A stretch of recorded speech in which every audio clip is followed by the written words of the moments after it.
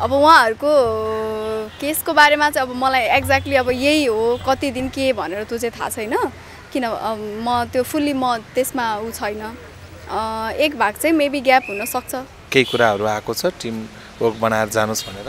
त्यो त कुरै हुँदैन नि उहाँहरू हाम्रो लिडर हो होइन? राइटर डिरेक्टर उहाँहरू नै हो भनेपछि उहाँहरू बाहेक त उहाँहरू नहुँदा त हाम्रो सिरियल नै त्यो कन्टिन्यू नै हुँदैन त्यो सोच्ने नै कुरा हुँदैन कि? हामी चाहिँ दुई वर्ष जति दुई वर्षभन्दा बढी भयो होइन? फ्यामिली जसरी काम गरिरहेछौँ अभियसली त्यो खबर यो कुराहरूले यो केसले त नराम्रो त लागि नै हाल्छ। सबै नराम्रै लाग्छ होइन। किनभने फ्यामिली जस्तो भएर काम गरिसकेपछि त्यो चाहिँ दाईहरू भन्दा पनि आफ्नै फ्यामिलीको मान्छे भन्ने त्यो हामीलाई त्यो चाहिँ फिल हुन्छ क्या। हामी भनेको चाहिँ दाईहरूको एक्टर हो होइन। दाईहरूले अब कहाँ के बजाउनुहुन्छ अब उम्, कसरी उ गर्नुहुन्छ च्यानलमा के गरी दाईहरू अब दाईहरूको प्रोसेस के हो कसरी के गर्नुहुन्छ त्यो चाहिँ उहाँहरूको नितान्त अब व्यक् व्यक्तिगत कुरा हो होइन। त्यो चाहिँ थाहा हुँदैन। मलाई थाहा थिएन त्यस्तो अब दाईहरूले अब यो बजाउँदा के हुन्छ के हुँदैन।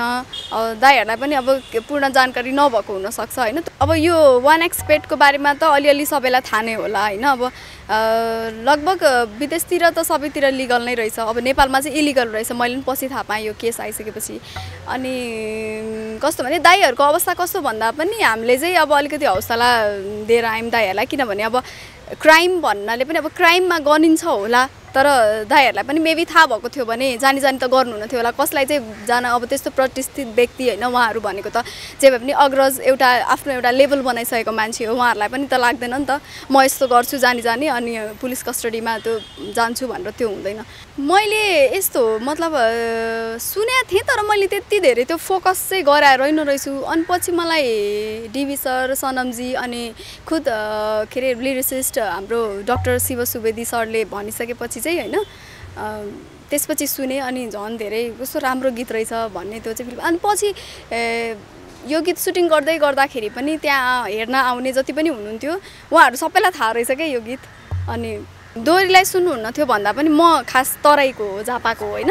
अनि त्यतातिर चाहिँ दोहोरी चल्दैन क्या। अनि मैले काठ दोहोरी सुनेको भनेकै काठमाडौँ आएर हो। काठमाडौँ मेबी मैले दोहोरी सुन्न थालेको तिन चार वर्ष भयो तर म त्यो दोहोरी सुनिसकेपछि दोहोरीको एकदम धेरै प्रेमी भएँ। बल्ल खाइस भन्ने छन् अरूले तिमी रुँदा रमाउनेहरूले खाम जस्तो चम्किलो जुन हुँदैन। जति रुनु परे नि मेरै काखमा रोमाया सतुरले देख्ने गरी रुन हुँदैन दोहोरीको चाहिँ त्यो भाव यस्तो इमोसनल हुँदो रहेछ होइन जस्तै यही गीत पनि त्यो एक्चुली डिपली सोच्नुपर्छ क्या घाम जस्तो जुन हुँदैनको जुन यो लिरिक्स छ नि यसलाई डिपली सोचेर मात्रै बुझिन्छ क्या। अनि दोहोरीको त्यो इमोसनल त्यो भावहरू चाहिँ मलाई एकदम मन पर्यो क्या। सस्तो छिटो र भरपर्दो फाइबर नेट र आइपिटिभी भनेकै वैदिक आयुर्वेद सेवा प्रणालीमा दिशा घरको जुनसुकै समस्या निको बनाउन सम्भव छ। मलद्वारमा एउटा थोका जस्तो आउने पिपहरू जाने त्यो मलाई हैरान पारिसकेको थियो। कता कताबाट अब वैदिक आयुर्वेदिक बारेमा जानकारी पाउन थालेँ। चाहिँ मैले चाहिँ यहाँ वैदिक आयुर्वेदिकमा आएर उपचार गरेको छु।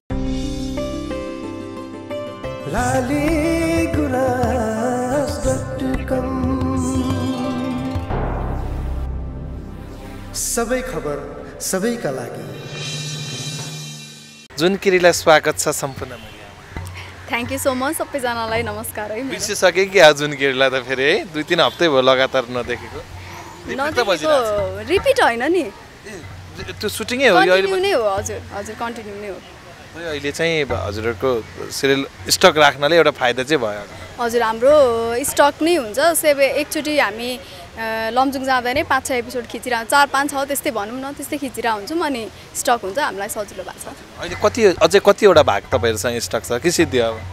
एउटा थियो अब चाहिँ सिद्धियो अब। अब दर्शकले हेर्न पाउनुहुन्न होइन? केही गरी बल्छी राजु मास्टर निस्किनु भएन भने। अब उहाँहरूको केसको बारेमा चाहिँ अब मलाई एक्ज्याक्टली अब यही हो कति दिन के भनेर त्यो चाहिँ थाहा छैन। किन म त्यो फुल्ली म त्यसमा ऊ छैन। एक भाग चाहिँ मेबी ग्याप हुनसक्छ। कि जस्तो ला मलाई पनि लागिरहेको छ किनभने मलाई पनि उहाँ आउनु भएन उहाँहरू आउनु भएन भने चाहिँ तपाईँहरूलाई रेगुलर लानु भन्नुभएको छ छैन केही कुराहरू आएको छ? टिम ओक बनाएर जानुहोस् भनेर। त्यो त कुरै हुँदैन नि। उहाँहरू हाम्रो लिडर हो होइन राइटर डिरेक्टर उहाँहरू नै हो भनेपछि उहाँहरू बाहेक त उहाँहरू नहुँदा त हाम्रो सिरियल नै त्यो कन्टिन्यू नै हुँदैन। त्यो सोच्ने नै कुरा आउँदैन कि? अहिले यो घटना आयो जब तपाईँहरूको टिमलाई एउटा एक खालको वज्रपातै परेको छ। म एकैछिनपछि गीतमा पनि आउँछु किनभने तपाईँले घाम जस्तो चम्किलो जुना हुँदैन यो पुरानो गीतलाई फेरि नयाँ मोडल गरेर तपाईँले जोडिनु भएको छ। मैले सोध्न खोजेको उहाँहरू त्यसरी एकाएक पक्राउ पर्नुभयो र अहिले प्रहरी हिरासतमा हुनुहुन्छ। यो खबरले तपाईँहरू पनि चिन्तित हुनुहुन्छ। एक खालको सन्नाटा छाएको छ कि छैन? जुठे टिम अनि सिङ्गो तपाईँहरूको सिरियल टिम। अब यस्तो हामी चाहिँ दुई वर्ष जति दुई वर्षभन्दा बढी भयो होइन। फ्यामिली जसरी काम गरिरहेछौँ। अभियसली त्यो खबर यो कुराहरूले यो केसले त नराम्रो त लागि नै हाल्छ। सबै नराम्रै लाग्छ होइन। किनभने फ्यामिली जस्तो भएर काम गरिसकेपछि त्यो चाहिँ दाईहरू भन्दा पनि आफ्नै फ्यामिलीको मान्छे भन्ने त्यो हामीलाई त्यो चाहिँ फिल हुन्छ क्या। त्यसरी तपाईँहरूकै टिमको एकजना पात्रले सायद मिडियामा बोल्नु भएको थियो हल्का रमाइलोकै पात्र उहाँले चाहिँ के भन्नुभएको थियो भने हामीलाई पनि थाहा थिएन यस्तो गैर कानुनी विज्ञापनहरू बजाउनु भएको रहेछ भनेर उहाँले भन्नुभएको थियो। सायद त्यो त्यो अन्तर्वार्ता धेरै दर्शकले पनि हेर्नु भएको छ। तपाईँहरूलाई थाहा थियो कि थिएन खास त्यो चाहिँ अनएक्सपेक्टको विज्ञापन बच्छ भने चाहिँ? यस्तो हो अब हामी भनेको चाहिँ दाईहरूको एक्टर हो होइन? दाईहरूले अब कहाँ के बजाउनुहुन्छ अब कसरी उ गर्नुहुन्छ च्यानलमा के गरी दाईहरू अब दाईहरूको प्रोसेस के हो कसरी के गर्नुहुन्छ त्यो चाहिँ उहाँहरूको नितान्त अब व्यक् व्यक्तिगत कुरा हो होइन। त्यो चाहिँ थाहा हुँदैन। मलाई थाहा थिएन त्यस्तो अब दाईहरूले अब यो बजाउँदा के हुन्छ के हुँदैन। दाईहरूलाई पनि अब पूर्ण जानकारी नभएको हुनसक्छ होइन। त्यो उहाँहरूको व्यक्तिगत कुरा हो। अब यसमा चाहिँ म यो थियो यो थिएन भनेर म सर्टेन यही हो भनेर चाहिँ म त्यसमा बोल्न सक्दिनँ। तपाईँ पुगेर आउनुभयो होइन? एकचोटि कि दुईचोटि जानुभयो भेट्न पनि होइन? के के भन्नुभयो? कतिको उहाँहरू चिन्तित देखिनुहुन्छ कि या मुस्कुराइरहनु भएको छ कि? कस्तो छ उहाँहरूको अनुहारमा होइन? आफू निर्दोष अनुभव गर्नु भएको छ कि? यस्तो हो अब अब यो वान एक्सपेक्टको बारेमा त अलिअलि सबैलाई थाहा नै होला होइन? अब लगभग विदेशतिर त सबैतिर लिगल नै रहेछ। अब नेपालमा चाहिँ इलिगल रहेछ। मैले पनि पछि थाहा पाएँ यो केस आइसकेपछि। अनि कस्तो भने दाईहरूको अवस्था कस्तो भन्दा पनि हामीले चाहिँ अब अलिकति हौसला दिएर आयौँ दाईहरूलाई। किनभने अब क्राइम भन्नाले पनि अब क्राइममा गनिन्छ होला। तर दाईहरूलाई पनि मेबी थाहा भएको थियो भने जानी जानी त गर्नुहुन्न थियो होला। कसलाई चाहिँ जान अब त्यस्तो प्रतिष्ठित व्यक्ति होइन उहाँहरू भनेको त जे भए पनि अग्रज एउटा आफ्नो एउटा लेभल बनाइसकेको मान्छे हो उहाँहरूलाई पनि त लाग्दैन नि त। म यस्तो गर्छु जानी जानी अनि पुलिस कस्टडीमा त्यो जान्छु भनेर त्यो हुँदैन।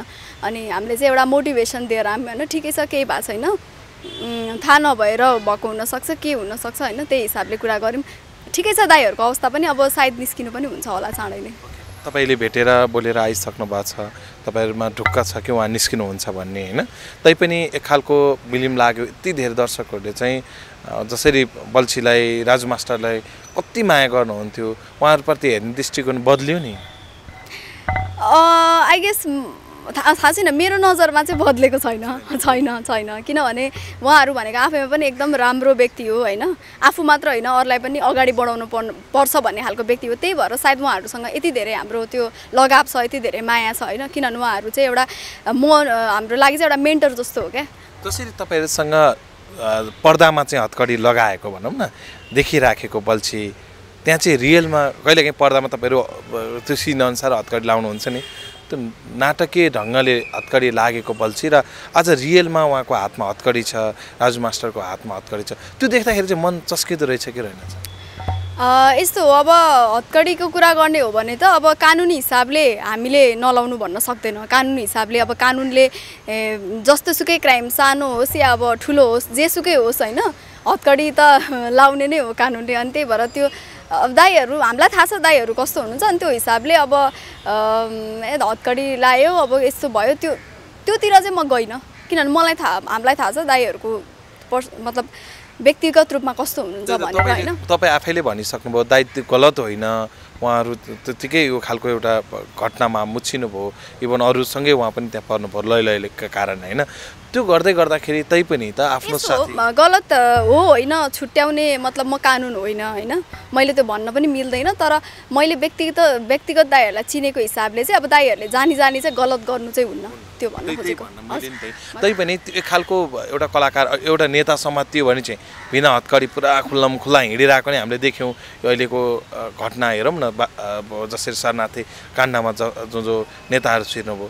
अनि एउटा व्यक्ति जो चाहिँ कलाकार राष्ट्रका लागि सन्देश दिने कलाकार चाहिँ हत्कडीमा प्रवेश भइरहेछन् जो अहिले सोधपुछमा त्यो गर्दा चाहिँ अलिकति दुःख लागेन भन्नु अब म त्यहाँ भएको थियो भने मेरो आफ्नो म आफ्नो निर्णय सुनाउँथेँ होला तर अब यो विषयमा चाहिँ मनमा त हुन्छ कति कुराहरू तर अब यही हुनु पर्थ्यो त्यो हुनु पर्थ्यो भनेर चाहिँ म चाहिँ बोल्दिनँ। उहाँहरूले के भन्नुभयो? राजु मास्टर दाई बल्छी धुर्बेले चाहिँ के भन्नुभयो तपाईँहरूसँग? पछि अस्ति लेटेस्ट भेटेर चाहिँ। त्यस्तो अब अरू कुरा त त्यस्तो के हुन्छ र? हामीले गएर भेट्दाखेरि सोध्ने भनेको के छ? ठिकै छ? कसरी बसिराख्नु भएको छ? त्यो हो। उहाँहरूले पोजिटिभ नै ऊ दिनुभयो। ठिकै छ? अब बाहिर निस्केपछि कुरा गरौँला भन्ने टाइपको त्यो। टेन्सन म हामीले पनि टेन्सन नलिनु भन्यो उहाँहरूले पनि टेन्सन नलिनु भन्नु। सिरियल बन्द भइरहेछ टेन्सन नलिनु भन्नुभयो सिरियल त बन्द भएको छैन आइरहेको छ हिसाबले तपाईँहरू सुटिङमा नगइसकेपछि या तपाईँहरूको यति बेला त सुटिङ भइरहेको थियो होइन? कुनै एउटा यस्तो सेड्युलको हिसाबले हाम्रो सुटिङ चाहिँ अब चाहिँ हुनेवाला थियो। अब हल्का रमाइलो पनि उहाँहरूको आफ्नै सिरियल त हल्का रमाइलो दुई तिन भाग भइसक्यो रिपिट भएको। त्यसले त उहाँहरूलाई असर त परेको छ नि एक हिसाबले। अब हल्का रमाइलोको पाटो चाहिँ म खासै अब म संलग्न छैन त्यसमा। त्यही भएर यसको विषयमा चाहिँ म खासै बोल्न चाहिनँ जस्तो रिपिट चाहिँ भइरहेको हुनाले काहीँ न कतै त उहाँहरू रिपिट हुनु भएको छ नि भन्ने कुरा। अब सायद एपिसोड तपाईँले पनि हेर्नुभयो होला होइन? नहेरी त पक्कै सोध्नु भएन। रिपिट सायद पहिलाको भइरहेको होला। हजुर। अब तपाईँको गीतसँग जोडिन्छु। म यो प्रसङ्ग कटाएँ। नै गीत थियो आज फेरि विषय अलिकति तात तातो र दर्शकहरूले एकदम तपाईँ आफै पुगिसकेपछि बुझ्न खोज्नु भएको पनि। आज एउटा गीत रिलिज पनि भयो। गीतमा तपाईँ आफै अभिनीत हुनुहुन्छ र गीत एकदम पुरानो घाम जस्तो चम्किलो जुना हुँदैन। जस जनमनले सुनेको गीत। तपाईँले सुन्नुभएको थियो थिएन यो गीत? मैले यस्तो मतलब सुनेको थिएँ तर मैले त्यति धेरै त्यो फोकस चाहिँ गराएर रहेन रहेछु। अनि पछि मलाई डिबी सर सनमजी अनि खुद के अरे लिरिसिस्ट हाम्रो डक्टर शिव सुवेदी सरले भनिसकेपछि चाहिँ होइन त्यसपछि सुने अनि झन् धेरै कस्तो राम्रो गीत रहेछ भन्ने त्यो चाहिँ अनि पछि यो गीत सुटिङ गर्दै गर्दाखेरि पनि त्यहाँ हेर्न आउने जति पनि हुनुहुन्थ्यो उहाँहरू सबैलाई थाहा रहेछ क्या यो गीत? अनि त्यही भन्नु मैले चाहिँ पहिला चाहिँ त्यो सुने पनि त्यो त्यति धेरै ऊ गरेर छु। पछि हजुर हजुर। जस्तो बेला जुन बेलामा तपाईँ दोहोरीलाई त्यति धेरै सुन्नुहुन्न थियो त्यो बेलामा यो दोहोरी आएको थियो। अहिले यस्तो यस्तो भयो अब दोहोरीलाई सुन्नुहुन्न थियो भन्दा पनि म खास तराईको हो झापाको होइन? अनि त्यतातिर चाहिँ दोहोरी चल्दैन क्या? अनि मैले काठ दोहोरी सुनेको भनेकै काठमाडौँ आएर हो। काठमाडौँ मेबी मैले दोहोरी सुन्न थालेको तिन चार वर्ष भयो तर म त्यो दोहोरी सुनिसकेपछि दोहोरीको एकदम धेरै प्रेमी भएँ। तपाईँलाई दोहोरी नसुने निन्द्रै लाग्दैन भन्ने यस्तो हुन्छ कि त्यो दोहोरीको चाहिँ त्यो भाव यस्तो इमोसनल हुँदो रहेछ होइन? जस्तै यही गीत पनि त्यो एक्चुली डिपली सोच्नुपर्छ क्या घाम जस्तो जुन हुँदैनको जुन यो लिरिक्स छ नि यसलाई डिपली सोचेर मात्रै बुझिन्छ क्या? अनि दोहोरीको त्यो इमोसनल त्यो भावहरू चाहिँ मलाई एकदम मन पऱ्यो क्या। त्यो गीत त छँदै थियो एक काल चाहिँ हो सबैलाई थाहा छ। घाम घाम जस्तो चम्किलो जुन हुँदैन भन्ने गीतको क्यासेट कति बिक्री भयो भनेर सायद त्यो इतिहास शिव सुवेदीलाई थाहा छ कि पुरुषोत्तम नेउपाने दाईहरूलाई थाहा छ किनकि त्यो समयमा एउटा गीतले घर बनाएको गीत हो होइन? शिव दाईलाई एकचोटि सोध्नु होला तपाईँले। अब त्यो गीतको तपाईँ काल चाहिँ नायिका बन्नुभयो एक त खुसीको कुरा। अर्को कुरा यो गीतको सुटिङ चाहिँ यस्तो टाढा लगेर गरिएको रहेछ। खप्तर जुन चाहिँ यति विकट ठाउँ। त कस्तो भयो अनुभव सुटिङको? समग्रमा एकदम रमाइलो भयो। कस्तो भने सायद म सुटिङ यस्तो हुन्छ नर्मल्ली मान्छे होइन। खप्तर गइहाल्ने चाहिँ त्यो सोच्न सक्दैन क्या। किनभने त्यहाँ जानलाई एउटा प्लानिङ चाहियो होइन। बजेट पनि चाहियो टाइम चाहियो। अनि तर म चाहिँ कस्तो लक्की भइदिएँ भने कामको हिसाबले मैले जान पाएँ क्या। म त्यसमा एकदम अनि यस्तो म अब फेरि तराईमा जन्मेको मान्छे नर्मल्ली अब कहिले नहिँडेको मान्छे। तर मलाई चाहिँ के भइदियो भने फेरि म काममा चाहिँ अब आफै डेडिकेटेड छु भन्दा पनि त्यो अलिक भन्न नसौला तर मलाई के हुन्छ भने कामको हिसाबमा चाहिँ म चाहिँ नहिँडेको नहिँडेको भए पनि म चाहिँ हिँडेँ के। नर्मली कहिले नहिँडेको मान्छे चाहिँ आठ घन्टा जाँदा आठ घन्टा हजुर जाँदा आठ घन्टा अनि फर्किँदाखेरि चाहिँ सात घन्टा हिँडेको। एकदम त्यो मलाई चाहिँ एउटा लाइफ टाइम एक्सपिरियन्स भयो त्यो।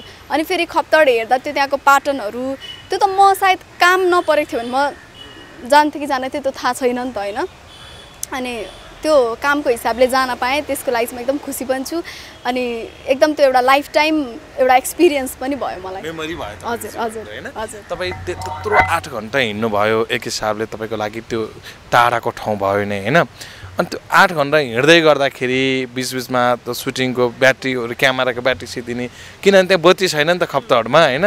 त्यसरी चाहिँ कसरी म्यानेज गर्नुभयो तपाईँहरूले टेकहरू एकदम वान टेक नै थियो त्यस्तो? यस्तो अब त्यो चाहिँ टेक्निकल पार्ट भयो होइन। लाइनहरू त त्यस्तो सजिलो त्यहाँनिर उपलब्ध थिएन। उहाँहरूले सायद अब त्यो मिलाउनु भएको थियो होला।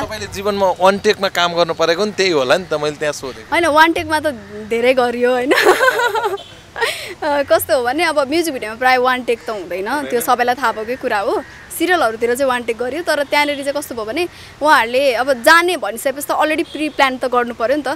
त्यो सबै मिलाएर राख्नु भएको रहेछ टेक्नि टेक्निकल टिमहरूले अनि त्यस्तो मेबी त्यस्तो प्रब्लम भएन। क्यामेराले ब्याट्री छैन त्यो छैन भनेर चाहिँ त्यसरी चाहिँ प्रब्लम भएन। जस तपाईँलाई चिन्ता चाहिँ व्यक्त भएन भनौँ न त्यहाँ गएर ओहो सुटिङ बिचमा रोकिन्छ कि? भन्ने चाहिँ भयो ए नाइ त्यो त अलिकति वान पर्सेन्ट पनि भएन। जाँदा जाँदै के भन्नुहुन्छ तपाईँको अडियन्सहरूलाई? नयाँ गीत आएको छ कहाँ हेर्न सकिन्छ त्यो? कुन युट्युब च्यानलमा त्यो पनि? घाम जस्तो जुन चम्किलो जुन हुँदैन भन्ने गीत अब रिलिज हुँदैछ होइन? अनि त्यो चाहिँ एभरेस्ट ग्यालरीमा रिलिज हुनेवाला छ। अब एक्ज्याक्ट डेट आज विमोचन भयो। अब मैले आज रिलिज होला सोचेको थिएँ तर होइन रहेछ। अब एक्टरलाई सबै कुरा थाहा हुँदैन नि त। के अरे विमोचन चाहिँ भयो। आई आई थिङ्क चाँडै आउँछ अनि यहाँहरूले हेरेर एकदम धेरै माया गरिदिनु होला। एकदमै धेरै भाव बोकेको गीत छ त्यो त्यो गाइदिनुहोस् न। म तपाईँको स्वरमा कस्तो मिठो लाग्छ मलाई चाहिँ पहिला पनि गाएको छ। यो गीत चाहिँ सुनाउ न कस्तो। यो गीत अलिकति आउँछ म एक लाइन गा म ट्राई गर्छु है कसैले मेरो मजाक नउडाउनु। होइन रियलमै मनपर्छ तपाईँको आवाज पहिला पनि सुनेको छु बल्ल खाइस भन्ने छन् अरूले तिमी रुँदा रमाउनेहरूले खाम जस्तो चम्किलो जुन हुँदैन। जति रुनु परे नि मेरै काखमा रौ माया सतुरले देख्ने गरी रुन हुँदैन जति रुनु परे नि मेरै काखमा माया। सतुरले देख्ने गरी रुन हुँदैन लय पनि मिलाउन सक्नुभयो नाच्न नि सक्नुभयो सबै कुरा। केही भन्नु छ डिबी सर अनि शिव सुवेदी लगायतको टिमलाई? म त डिबी सर शिव सर सनमजी उहाँहरूलाई एकदमै धेरै थ्याङ्क यू भन्न चाहन्छु किनभने उहाँहरूले चाहिँ मलाई यो गीतमा खेल्ने मौका मात्र होइन क्या एउटा life time experience life time memory होइन एउटा के भन्छ भोगाई त्यो सबै मलाई एक्सपिरियन्स गर्ने मौका दिनुभएको छ। म उहाँहरूलाई एकदमै धेरै थ्याङ्क यू सो मच भन्न चाहन्छु। रोगीलाई निरोगी बनाउँदै खुसी बाँड्दैछ। वैदिक आयुर्वेद सेवा प्रणाली जीवनको सबैभन्दा महत्त्वपूर्ण पाटो स्वास्थ्य अवस्था हो। जब स्वास्थ्य अवस्था जटिल हुन्छ आफ्नो जीवन त आफैलाई यसै भारी हुने नै भयो। परिवारजनलाई समेत यसको ठुलो असर पर्दछ। जीवनको उर्वर समय आफ्नो स्वास्थ्य अवस्थाको चिन्तामा बिताउनु पर्ने अस्पतालको चक्कर लगाउनु पर्ने समय र पैसाको लगानी गर्दा समेत स्वास्थ्य अवस्था ठिक नहुने। यस्तो दुःख मानिसले कतिसम्म झेल्न सक्छ? लगातार दस वर्षको घुँडाको दुखाइ उठ्न बस्न गाह्रो शौचालय जानकै लागि आफ्ना घरका छोराछोरीलाई सहयोग माग्नुपर्ने। घुँडाको दुखाइ निको नहुँदै जीवन बित्छ होला भन्ने सोचमा रहेका उनी मेरो नाम असराम हो। तिन नम्बर क्षेत्र बसन्तपुर मेरो घुँडा दुखेर यस्तो समस्या थियो। दस वर्ष त्यो दुख्दा दुख्दा हैरान भए थिएँ। एकै ठाउँ बसेर अब सक्नै नसक्ने जाँदा हिस्सा चाहिँ बुल्थ्यो मैले। अब कसरी छोराहरू त्यो भनौँ नि हात समाएर डुलाउँथ्यो। छोडिदियो भने त्यत्तिकै लड्ने। यस्तो मेरो गाह्रो थियो के गर्ने अब? आफत आफत बित्यो। थियो म भन्यो मर्छु मैले भनेर भनेको थिएँ मानिसको जीवन एक्काइसौँ शताब्दीको यो समयमा दिनमै परिवर्तन भएको छ। दस वर्षमा त मानिसले जुनी नै फिर्छ होला। अवस्था फेरिन्छ समय फेरिन्छ विचार फेरिन्छ सबै कुरा परिवर्तन हुन्छ। यस राम भने हार मान्नेहरूमा परेनन्। ठुला ठुला अस्पतालहरू धाउँदा समेत पूर्ण रूपमा निको नभएको उनको घुँडाको दुखाइ छोराले लाइन चोक आनन्द मार्ग नारायणगढमा रहेको वैदिक आयुर्वेद सेवा प्रणालीमा लगी डाक्टरको सल्लाह बमोजिमको आयुर्वेदिक औषधिको प्रयोगपछि बिस्तारै निको हुन थाल्यो। विश्वासै नगरेको कुरा आफ्नो जीवनमा भएको देख्दा आफूलाई आफ्नै जीवन सपना लाग्न थाल्यो। अनि यति यति त्यो छ लानचोकमा अब त्यो छोरा लिएर आयो। मलाई कसरत गरायो के यहाँ? आएर त्यो यस्तो यस्तो गर तिमीहरूको पेसा घट्छ अनि कसरत गरायो खुट्टाहरू सबै। मैले त पाँच छ महिना खाएँ अनि राम्रै भयो। म जम्मै काम गर्छु नि। हलो चलाउँछु कोदालो चलाउँछु। सबै अब मैले गर्छु। गाई छ त्यो भैँसी छ त्यो जम्मै चराउँछु मैले। मेरो त आयुर्वेदिकको धेरै विश्वास लाग्यो अब मलाई सन्चो बनाइदियो अब अरू मान्छेलाई पनि सन्चो बनाउँछ नि आयुर्वेदिकको विज्ञान र प्रविधिको समयमा उपचार पद्धतिले धेरै विकास गरेको छ। तर पनि उपचार पद्धतिको जननी आयुर्वेद उपचार पद्धतिको प्रयोगबाट बिरामीको उपचारमा पाइएको सफलता प्रशंसनीय छ। जसको ज्वलन्त उदाहरण दस वर्ष लामो घुँडाको दुखाइबाट छुटकारा पाएका यस राम हुन्। रोगीलाई निरोगी बनाउँदै खुसी बाँड्दैछ।